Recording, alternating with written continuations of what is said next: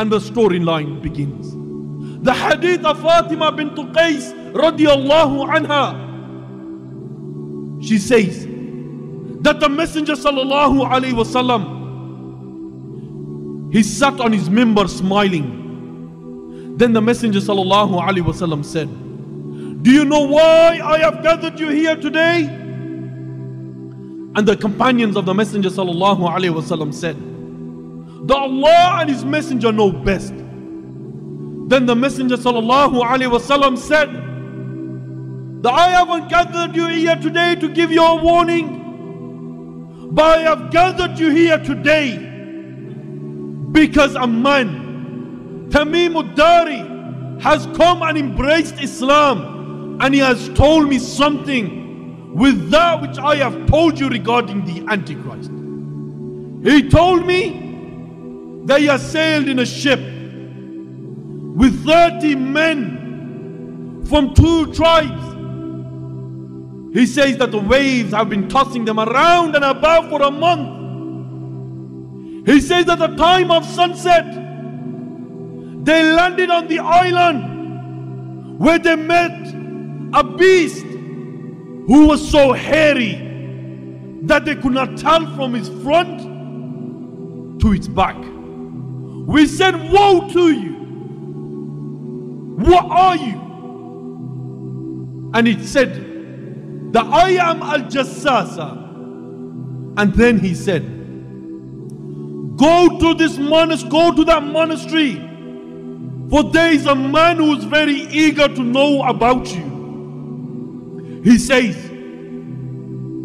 We quickly went to the monastery, and there we seen a huge man with his hands tied up to his neck, iron shackles between his ankles, between his legs up to his ankles. We said, Woe to you! Who are you? And he said, Never mind who I am. Soon you will come to know who I am. Tell me, who are you? They said that we are people from Arabia. We sailed in a ship where the waves have been tossing us around and about for a month. When we landed on your island, we met a beast who was so hairy that we could not tell from his front to his back. We said, Woe to you! What are you? And he said, That I am Al Jassasa. Then he said, That go to the monastery, for there's a man who is very eager to know about you. He says, We quickly went to you, we quickly went to the monastery, and there we found you. Then the man in the iron chain said, Tell me about the date palms of Baysan. We said, What do you want to know about it? He said, That does he have fruit on it? Does he bear fruit? We said, Yes. He goes, A time will come he will not bear fruit. Tell me about the lake of Tabariya. We said, What do you want to know about it? He said that does he have water in it?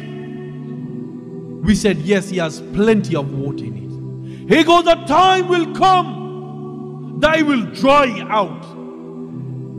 Tell me, tell me about the spring of Zughara. We said, what do you want to know about it? He said, does he have water in it and do the people use it to irrigate the lands? We said yes. He has plenty of water in it, and the people use it to irrigate the lands. And then the man in the iron chain said, Tell me about this unlettered prophet. And we said, That he has left Mecca and he has migrated to Medina. And then he said, do the Arabs fight against him? Do the Arabs fight against him? We said yes. He goes, How does he deal with them? Then they said that the messenger has overcome them and those who surround him have followed him. And then the man in the iron chains said, Has this really happened? Has this really happened? It is better for them that if they follow him. Now I will tell you who I am. I am the impostor. I am the Antichrist. And soon I will emerge.